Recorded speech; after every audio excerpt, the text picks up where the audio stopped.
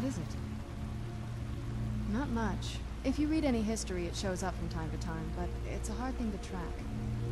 As far as I know, though, it's never been held by a vampire. That would be a new one.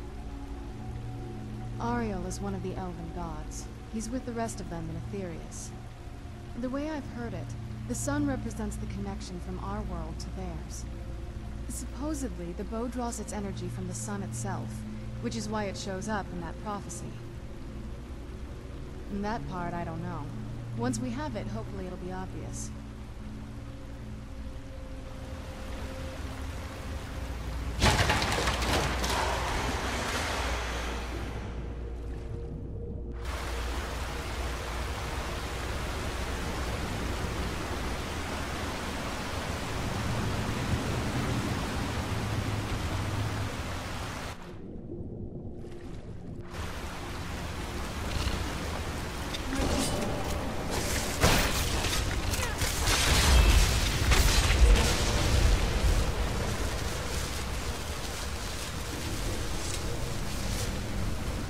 Was, I knew I heard something.